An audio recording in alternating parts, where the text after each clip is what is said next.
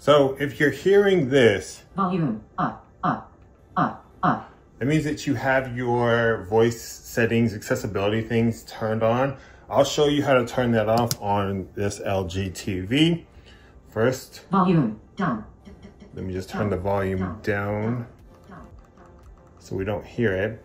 Now what we need to do is up here, we're gonna open up our settings.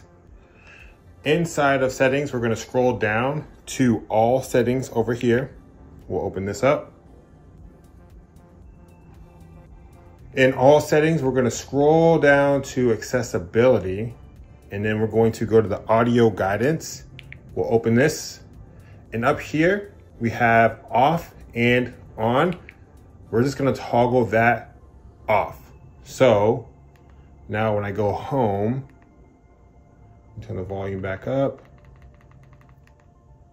you're not hearing it read out anything on the screen anymore. So really easy today. If this helps, please like the video, subscribe to the channel. Thank you guys so much, and I'll see you next time. Bye.